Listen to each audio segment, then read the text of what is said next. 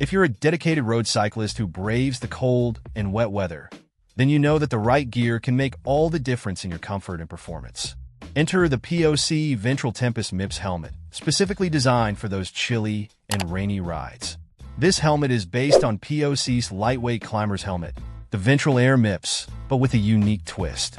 To get around a rule prohibiting professionals from using clip-on helmet covers, POC created a non-removable cover for the Ventral Tempus, and it turned out to be a hit. The super lightweight cover helps keep you warm and dry without sacrificing performance. POC also prioritized visibility with this helmet, offering high visibility colors and adding extra reflectors and a strip of reflective paint across the front and rear. While this helmet hasn't undergone Virginia Tech testing, it does feature the renowned MIPS technology for added safety. However, it's important to note that the wind tunnel performance wasn't impressive, with a slower time compared to other models. Additionally, the Ventral Tempus is a specialized helmet with a hefty price tag, so it may not be the most versatile option for all riders.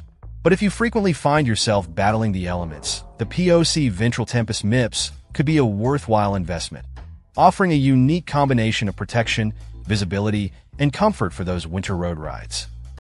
Check out the video description for updated price. And thank you for watching this video.